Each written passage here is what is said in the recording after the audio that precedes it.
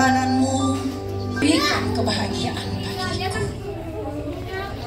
Kita semua katakan kepada mama, papa, terima kasih papa, terima kasih mama. Satu, dua, tiga. Terima kasih mama.